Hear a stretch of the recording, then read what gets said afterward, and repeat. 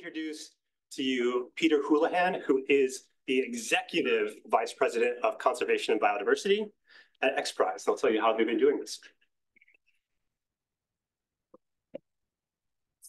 Thanks, T. Um, thank you, Bill, Daphne, for the invitation. Um, it's a pleasure to be here with you all today, and it's I, have been listening to the talks throughout the day and realizing there's so many points of connection along the way that I'll, I'll work to weave into our work at XPRIZE and how we um, how we run competitions. Um,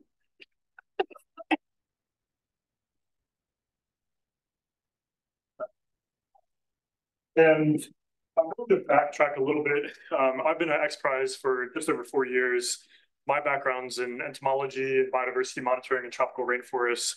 Um, and so much of what people have mentioned today from uh, different environments around the world, uh, especially rainforests that are obviously so important in ter terms of our planet's terrestrial biodiversity, they're also extremely vast. And people have talked about um, a number of the different challenges of gathering evidence in different challenging environments, as well as um, the threat of the threats that we face in terms of biodiversity loss, climate change, um, and the challenge that we're up against in terms of time. And so um, throughout my career prior to XPRIZE, I was predominantly leading scientific expeditions, expeditions with local communities um, in different tropical forests around the world to gather this type of evidence uh, to inform policy management and protection of tropical forests. Um, but all of these different areas are extremely vast, understudied, and um, now extremely threatened.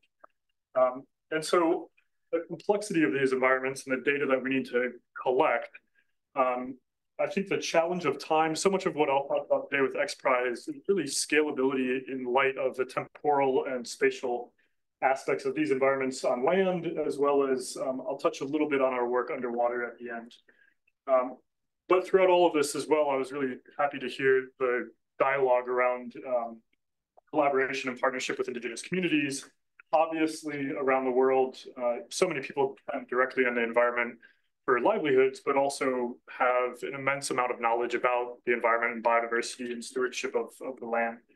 Um, and so it's how do we incorporate all these different types of uh, science, uh, technologies, wisdom, uh, and, and, evidence into our solutions uh, with the time that we have at the scale that we need.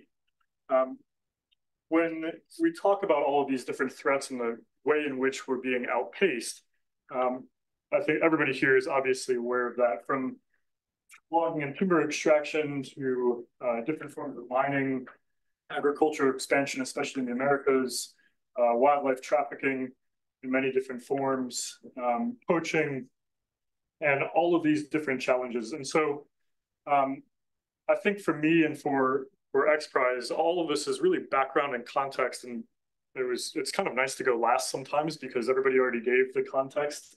Um, but the way that we gather evidence currently and have for a very long time is extremely time and labor intensive and resource intensive. Um, that's not to say I don't love being in the field. I would much rather at all given times be in the forest. Um, but in places like Salonga in the middle of the DRC, the largest forest reserve in Africa, equivalent to the size of about Switzerland, you have 48 park rangers to manage and protect that entire uh, preserve, uh, which is just unwieldy. Um, and in other areas, it's extremely challenging just to get to certain places once um, to collect the data necessary. But there are a number of places that we all work around the world, whether it's in uh, communities or places where we're able to set up camps. Um, but this model of field biology uh, is extremely challenging to gather the evidence that we need, not only once, but consistently to inform management and policy over time.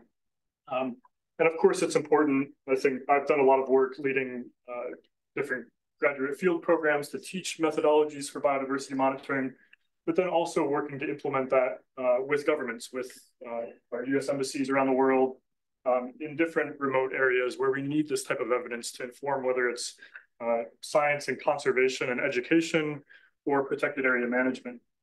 Um, and so all of this is, is a little bit of just background as to uh, the the way in which we collect data being obviously very hands-on um, over time, And there is an immense amount of knowledge, and as people mentioned today, there's already an immense amount of publications um, throughout time about biodiversity around the world, about um, our own ecosystems and our planet.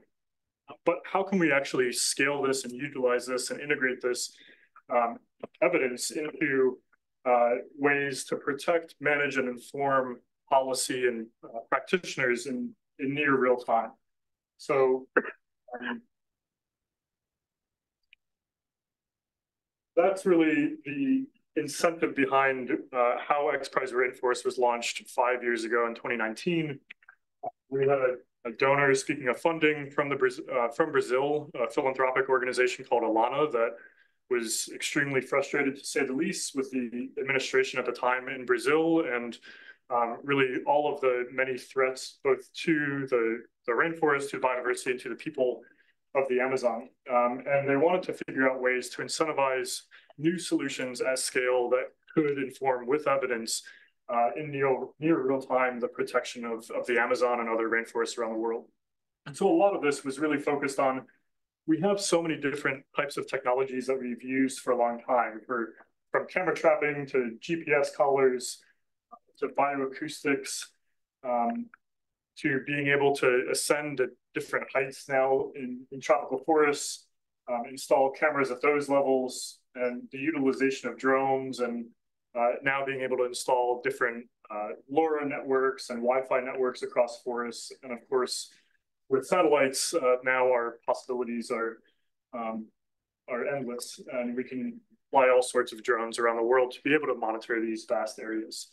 Um, going back 30 years and actually a century, the prize that motivated XPRIZE, which has now been around for three decades, was the Orteig Prize. Um, a lot of people don't realize, I didn't know when I joined XPRIZE that uh, Spirit of St. Louis, Charles Lindbergh's flight was a competition. It was a prize of $25,000 for whoever could fly across the Atlantic for the first time.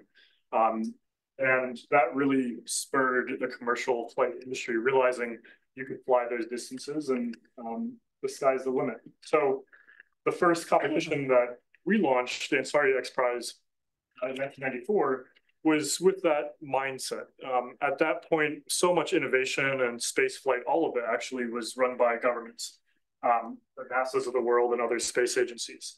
And the first competition was, could you build as a private citizen your own aircraft, pilot in, into space twice in two weeks and survive? That was the competition.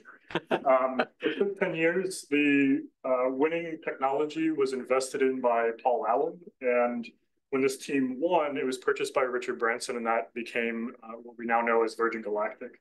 Um, and in so many different ways, a lot of the um, private spaceflight industry that we have now, the landers on SpaceX um, rockets were a team from that original X Prize, and so many others have been generated from that. Um, and so it's really an interesting model. When I joined the organization four and a half years ago, I knew nothing about competitions. Um, and it's been amazing to actually see how by running competitions, it fosters collaboration across all of these different sectors that we've seen. It really puts an incentive out there for people to figure out new ways forward, to work together um, in ways that maybe we haven't been incentivized within academia or within governments or within uh, private or public sectors. Um, to date, we've launched 30 prizes and awarded uh, or launched over half a billion dollars worth of incentive competitions. Um, and to me, when we talk about scalability, and um, I was mentioning to Bill this morning, I felt like when I joined X Prize, I infiltrated this whole other world where I was used to competing for, you know, a couple thousand dollars here and there to piece together to run expeditions or do different scientific research projects. And suddenly we have prizes that are tens to now we have three prizes over $100 million. And if we can direct that into conservation uh, and incentivize solutions in this space, that is a massive win. Um, and I still feel like I've infiltrated and the organization hasn't figured it out. But um, and and to date, we wanted to actually understand what is that multiplier effect of um, supporting a prize purse, and then down the line, what we've realized is that catalyzes about 33 times the prize purse and investment into the teams, raising awareness, um, scaling solutions, and driving, uh, especially the testing. A lot today has mentioned testing, experimenting, piloting uh, solutions. And that's really what we focus on at XPRIZE is the rigor behind uh, providing a testing bed so people can uh, trial new things that have never been tested before. And if it works, then that could be the breakthrough that we need in these different fields.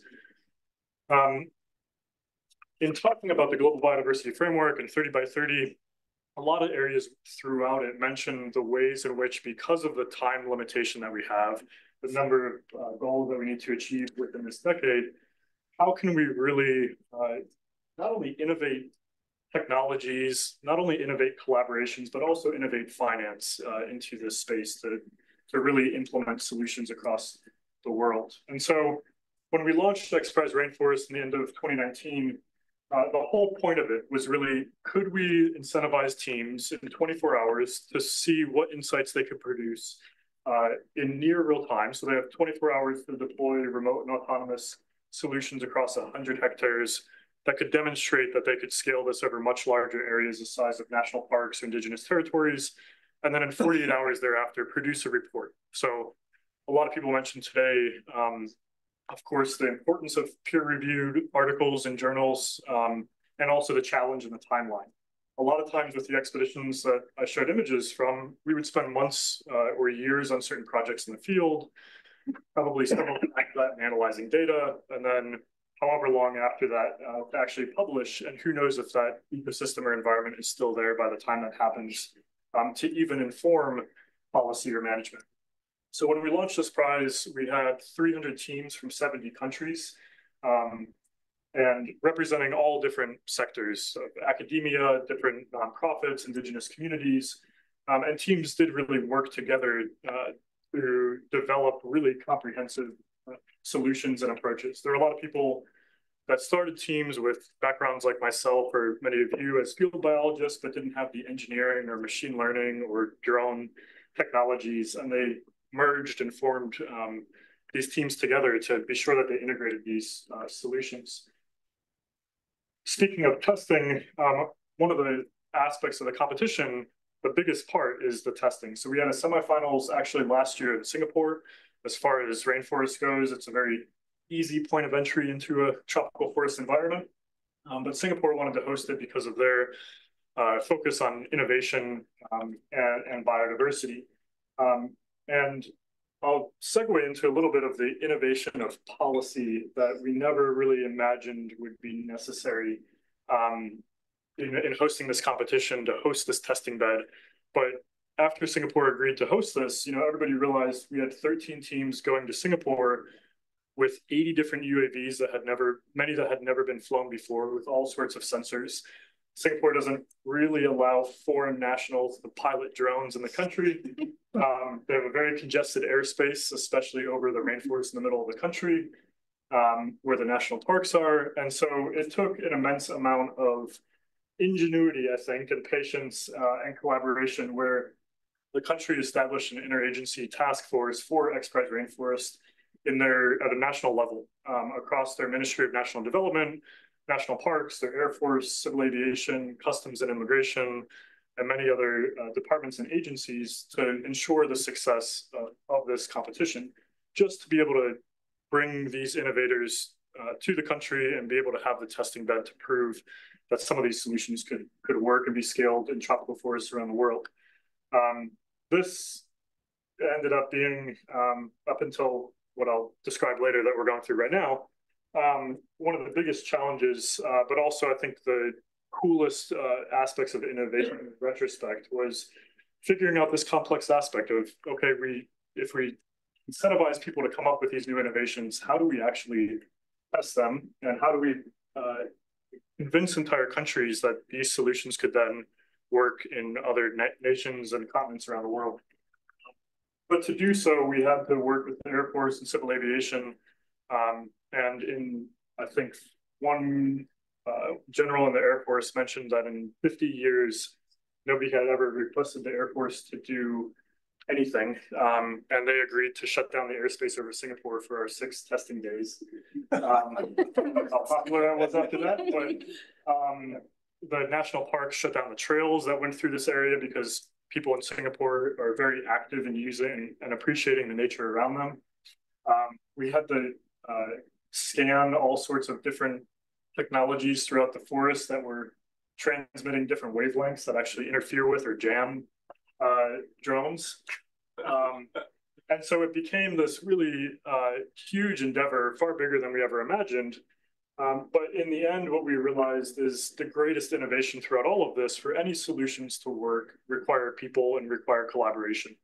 Um, and that across the entire government of Singapore, our US ambassador in Singapore, um, it really came together in an impressive way. Um, we probably, we definitely could have tested an easier uh, area somewhere else in the world, but um, the fact that between this collaboration of the national park shutting down, um, changing drone laws to just allow the R&D and the testing to happen and um, have people bring these these drones into the country and pilot them, um, and then have people fly them 24 hours through the night um, to deploy different sensors, to do different hyperspectral and LiDAR scans, um, a few different ground robotics that, uh, not surprisingly, encountered a lot of challenges navigating the forest floor, but this was the opportunity to test them and see if they could work.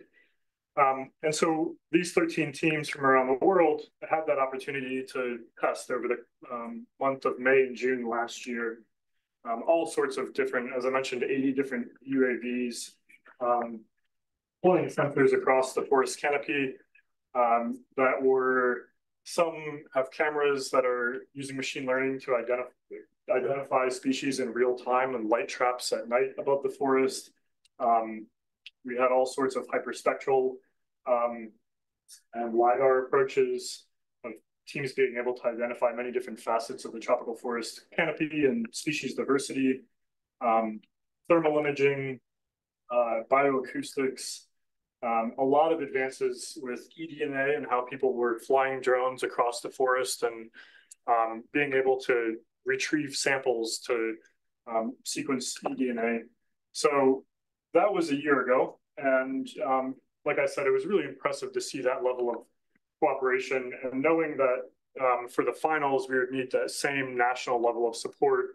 Our sponsor had really wanted us to try to refigure out doing this in Brazil with the new administration. And so we spent the month of August um, last year until we signed a MOU with the presidency of Brazil to announce the finals that I will fly to on a red eye tonight to go to Brazil for the next month.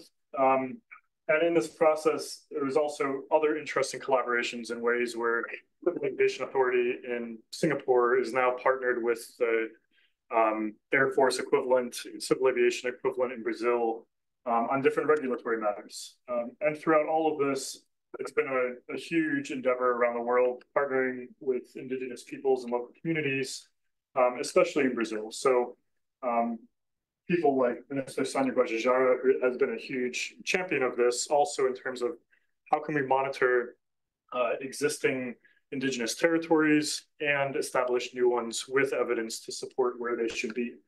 Um, so after the finals taking place in Amazonas over the next couple of weeks, we're also signing a number of partnerships with the state of Amazonas, with the state of Acre, um, with USAID in Brazil to really scale these solutions across Brazil in the time ahead to help support different technologies, support Brazil in achieving its global biodiversity framework goals, and thereafter prove if that can work in a large country and very biodiverse country like Brazil, that other countries can adopt that as well to be able to monitor areas uh, at this scale. So um, I think I'm probably at time. Yeah. Um, and I will leave it there. So thank you.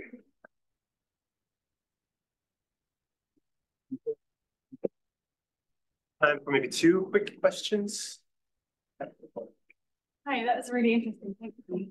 Um, I work for Cornell Forum. My name's Hannah Becker, and um, one of the questions we are asking ourselves is there are so many amazing opportunities with technology, but also questions around sort of data justice with that, and how do we kind of bridge those two challenges. So I was really excited to see you've worked so much with Indigenous communities, and I wondered how you've kind of factored that into your work. We we baked it in from the very beginning. So I I joined actually when the pandemic hit. Everything that I was doing in the field stopped because you couldn't go, you couldn't travel anywhere. I joined XPRIZE and felt it had just launched and could really come across as a bunch of LA tech bros parachuting into the Amazon to pirate data. And if we didn't restructure the framing of it to be co-creation and co-design in partnership with indigenous peoples throughout, you can't just develop things and then say indigenous people would be a beneficiary later on if that's not integrated from the very beginning. So that's been a big process throughout. It's actually a very interesting aspect in doing the finals in Brazil because there are a lot of sensitivities around that, around genetic patrimony. Um, and people are actually, I think, a little bit confused because we've been doing it right from the start and we're realizing, oh, if you do it in this way from the very beginning, like maybe we can allow different types of work that we haven't in the past 60 years in Brazil. So um, yeah, super important. It's been a core value uh, throughout the whole prize. Wow, we're at time now. Thank you, Peter.